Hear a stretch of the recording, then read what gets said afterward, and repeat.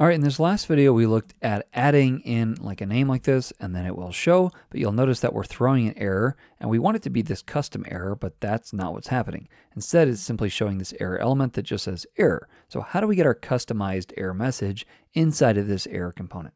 Well, React Router actually is going to give us several things that allow us to have more customization.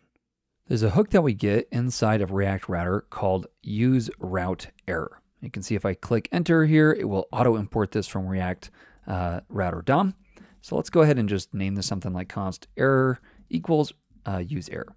So if I go ahead and console log this, and I come back over here, and I look at the console, you can see that if I come in here and type Chris, now I'm going to get this error. And you see that I actually have access to the error message right here. There was a problem creating your account. That's our custom error message. Now, at times there won't be an error message, but there might be an error status text. And so either way, I want to show one of those rather than just saying error. So let's do a couple things to customize this component. First of all, I'm going to add a class to this div just so that it's styled a little bit better. So I'll say error and our CSS should pick that up and do some stuff with it. Next, I want an H1 here that says like, uh-oh, all right, we've uh, got a problem. Right below here, I want a paragraph, and here's where I'm going to display my custom error message. So this will either show the error dot message or it will show the error.status text. So if I save that, now it says, uh-oh, we've got a problem. There was an error creating your account. Now, I want to give the user some kind of action that they can take because there's nothing like just being told, yeah, there's a problem, deal with it. All right, so let's go ahead and give them something they can do. So below here, I want to add two different buttons. We're going to add these both inside of container with the class of flex medium. This will flex out these items, let them wrap, but add medium spacing between them. Now, I am trying to stay away from talking about CSS much in this tutorial so that we can focus on React Router DOM, but if you're cu curious, I tried to write the CSS to where you can see what's going on there. So that's just a utility class that I've written that we'll use throughout the site. Now we'll have two things inside of here. We're going to have a button and we're going to have a link. Now the button should actually move you backwards and we're going to use a on-click handler to do that. So it should take you back to whatever page you were looking at previously, and then the link will always take you to the home page. So for now, let's just say button, and then down below here, also I want link. And again, this link will be from React Router DOM. So since it didn't import for me, I'm going to go ahead and just manually type link, and then now we've got access to that.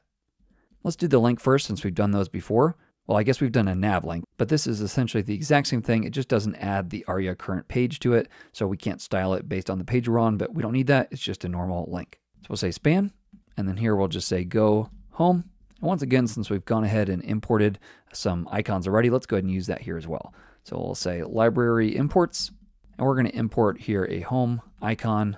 And you can see that import statement from Heroicons, and that's the one I want. So let me come down here and we'll add that in here with a width of 20. Now it's errored out because with these links, just like with the nav link, you have to tell it where to point. All right, this is like its href. In this case, I always want it to go back to the home page. And then let's give it a class name just so we can style it with button and button dark. All right, perfect. Now we've got this little micro button. Let's do something with that. So inside here, we're going to do two things. I'm going to have a span that says go back.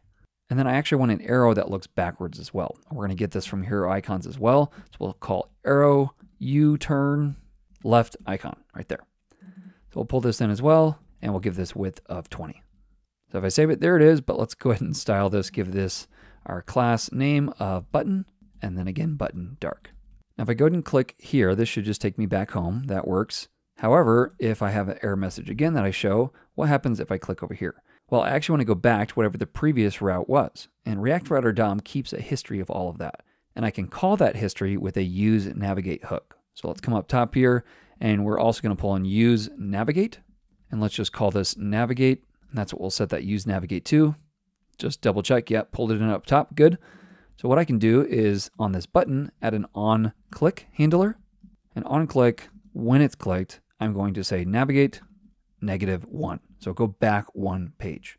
If I did negative two, it would go back two routes. Uh, all that just is dependent on what number you pass in. Let me space this out to make it a little bit easier to see.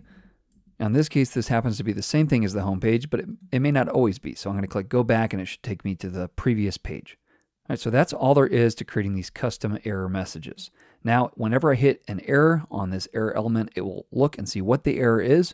It'll then display that below an H1, and then it'll give me actions for the user so they can actually do something rather than just be upset that they hit an error on my site.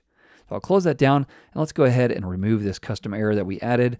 And now everything should work properly. In fact, if I come over here and save it and say Chris, it should say welcome Chris and we're set to go. No errors. I delete and Chris is gone. We're back at the splash page. In the next video, we're going to create another form, and this form is going to take in a name and an amount for a budget. When those budgets are created, we want our loader function to actually grab those and display them on our home dashboard.